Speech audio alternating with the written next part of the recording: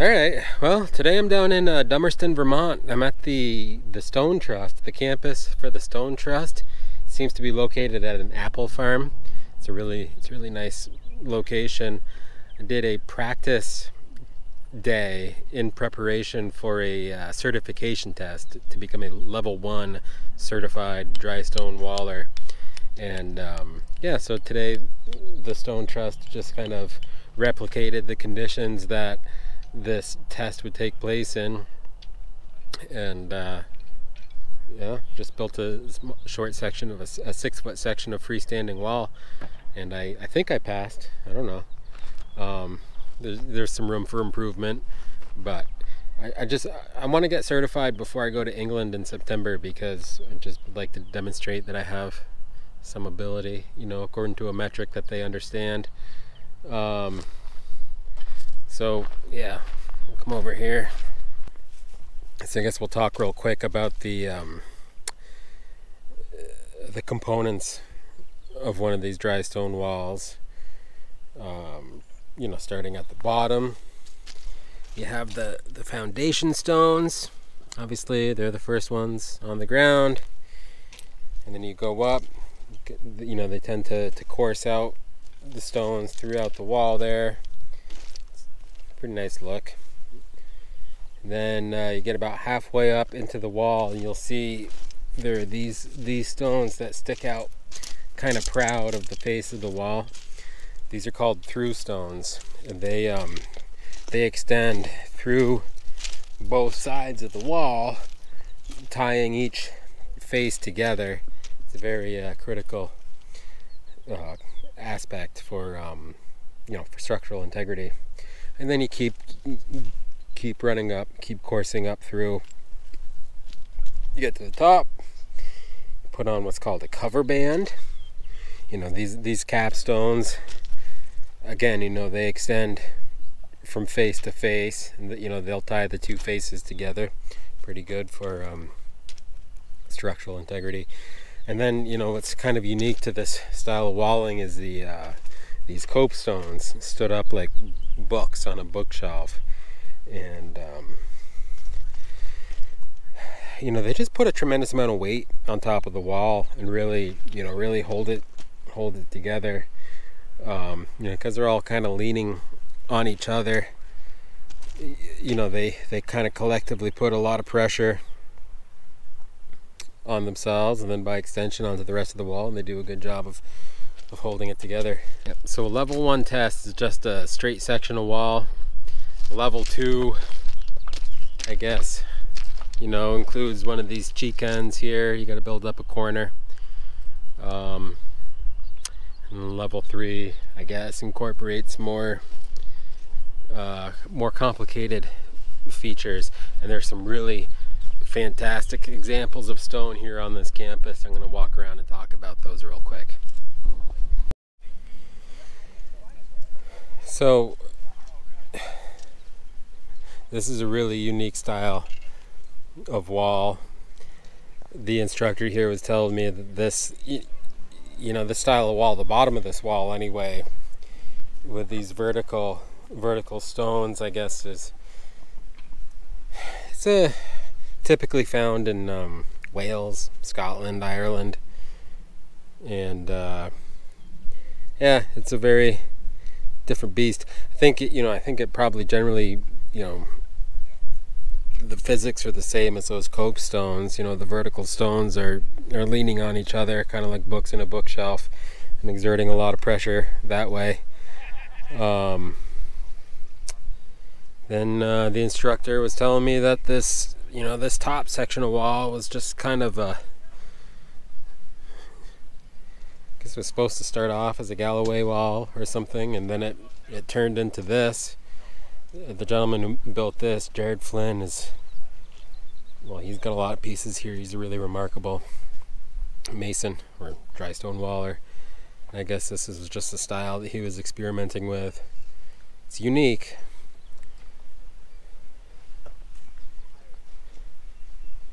Here we go a little plaque that I was supposed to read before starting this video, but I didn't. Um, yeah, some explanation there. All right, and over it's just a, uh, call it a single wall. And as you can see, well, maybe you can't, I don't know, but you know, this wall is just single stones stacked up um,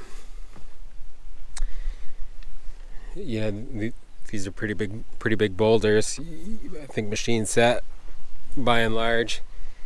Um, it's really simple. It's really primitive. It's also not easy masonry, uh, or you know, dry stone walling, and there, that that community is really uh, caught up on the differences, hung up on the differences between masonry and dry stone walling. They don't recognize the overlap between the two trades. Um, anyway, these single walls in my experience, aren't very easy to build. Um, this is just like a really remarkable uh, example of one. Uh, again, this was built by, by Jared Flynn. Now, if we come down here, we have a slate sphere in process, in progress. This is obviously a, a really complex build. I don't know anything. I don't know anything about this project, but but it's in process here. Down here.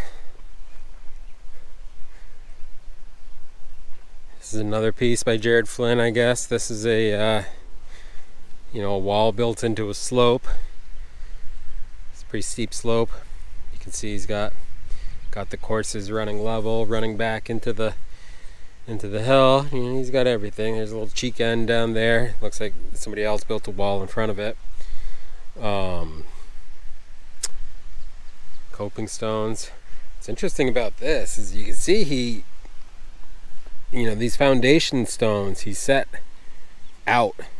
You know, they're proud of the wall, presumably to to help distribute some weight.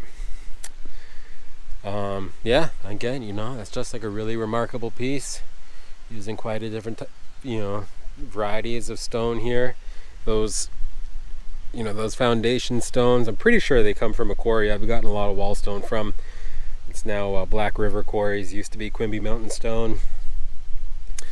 He's got these uh, granite through throughs or through stones there's a lot of other, you know, ledgy, um, mica schist, and then that, you know, those ledgy uh, capstones. I think those are probably also mica schist. Oh, and then you know, and then the, you know the rest of this wall is just glacial till, you know, small pieces that have been tumbled and left in fields. Um, yeah, that's a that's a fantastic example of masonry right there. Got a few sets of steps. For Seth. Yeah, he participated. He was my, my neighbor during that that thing. Now this is a remarkable piece. I think this is uh, Jared Jared's uh, masterpiece, I guess. I, I don't know what the, I gotta seek out some more clarification on that, but this is a the example that he built to get a master craftsman certification and it's uh it's complex. You know there's a lot of batter on this corner. It's probably two inches per foot. Batter would be you know how much a wall leans in how out of plumb. Most of these walls are uh you know a dry stone wall you know typically leans in. If I'm building a retaining wall, it's like, you know, if it's nice ledgy stone, then it'd be about an inch for every foot. Field stone, maybe two inches. I think much more than that would be, well, kind of excessive actually. Um, yeah, he's got these granite granite pieces up here. Those copes going all the way down, beautifully dressed. Everything's all planed out. There's a nice little arch.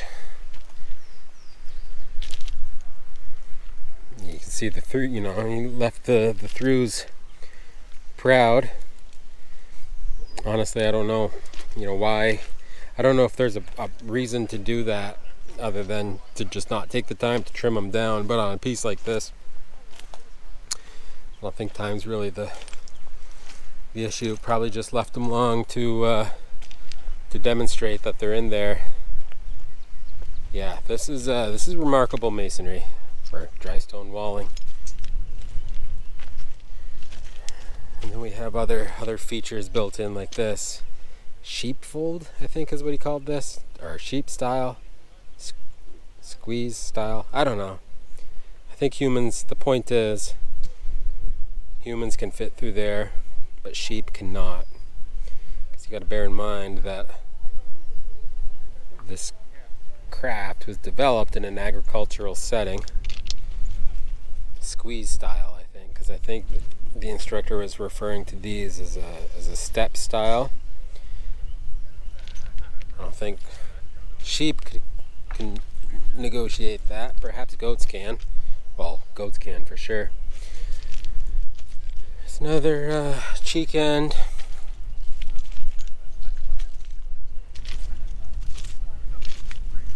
There's another little arch.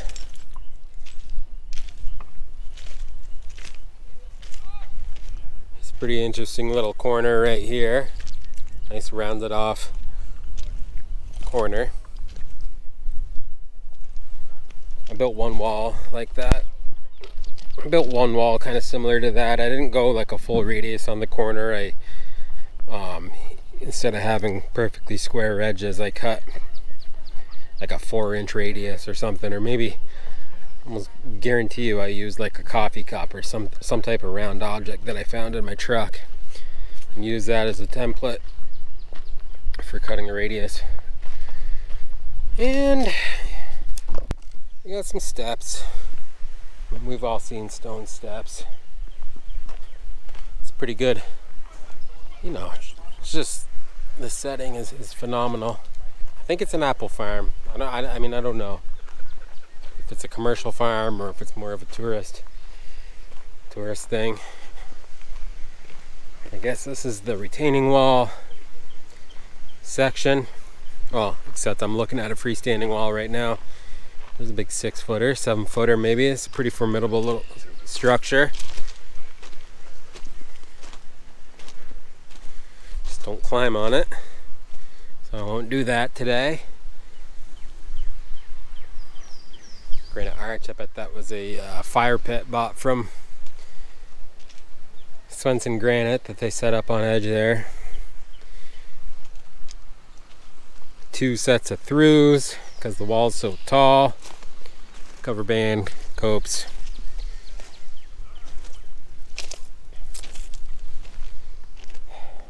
Some other more, you know, this more unique, like I think they, they call this a Galloway style.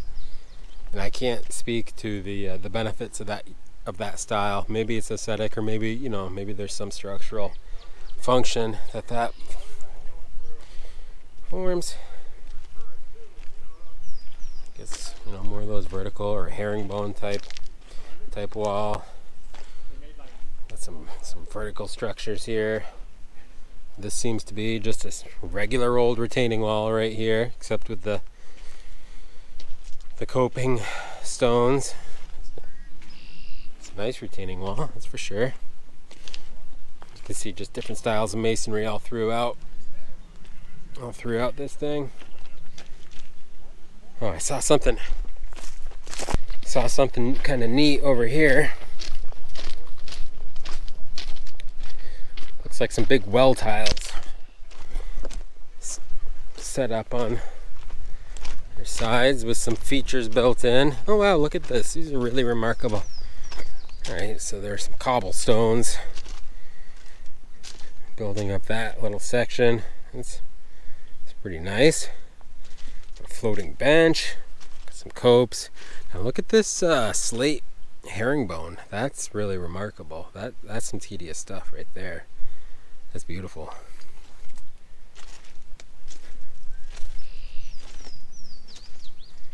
Some like bluestone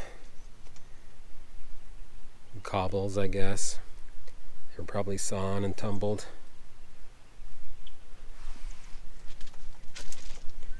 More slate.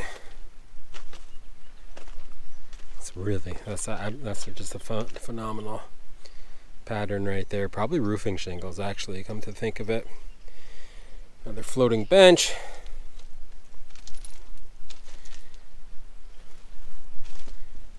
Yeah.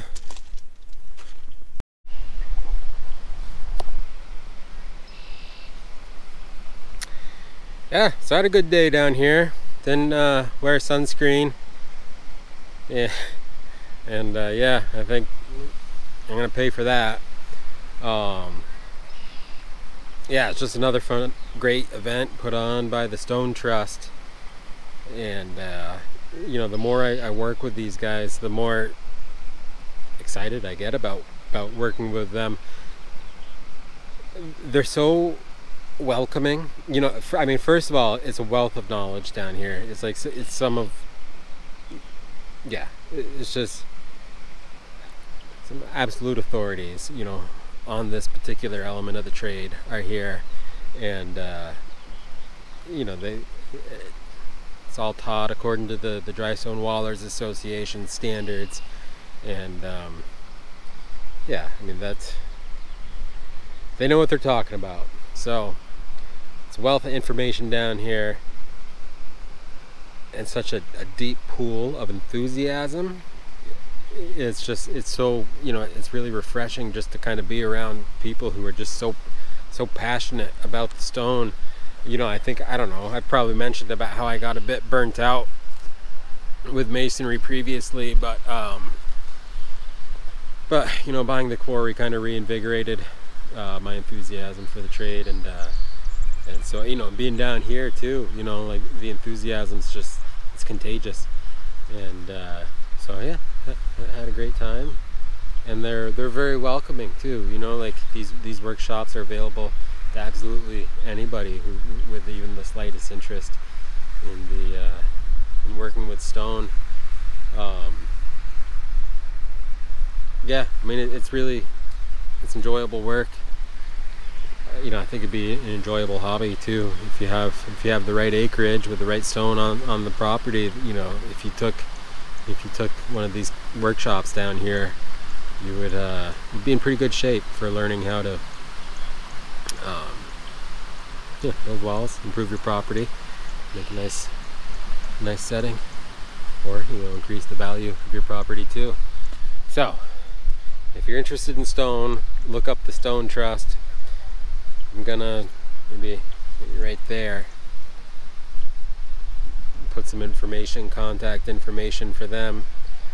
Uh, next week I'm to be working on a like a volunteer day, a volunteer wall. Actually, I don't even know what we're building, but that's to be up in Barre, Vermont, at the uh, the uh, Vermont Granite Museum. You know, the Stone Trust does a lot up there. Probably going to bring over a few blocks from my quarry just as a offering. And then on May 22nd, I got to take that test to try to become a level one certified dry stone waller. And, uh, you know, I learned a few things that I can prove on today. And uh, I think there are a few other little little walls I can maybe tinker on between now and then to just get some more practice even though I've been doing it for for 19 years that you know a little more practice wouldn't hurt a thing. And uh, yeah so hopefully I can pass that test without uh, a big issue. And then when I go to England I can be a good representative for the uh, the American walling community. Or I can try to be. I don't know. I tend to shoot from the hip sometimes with statements, so maybe maybe I'm not the, the best delegate. But thank you for watching, and uh, yeah, got some more stuff coming, more content coming, I guess. So so stay tuned. Thank you.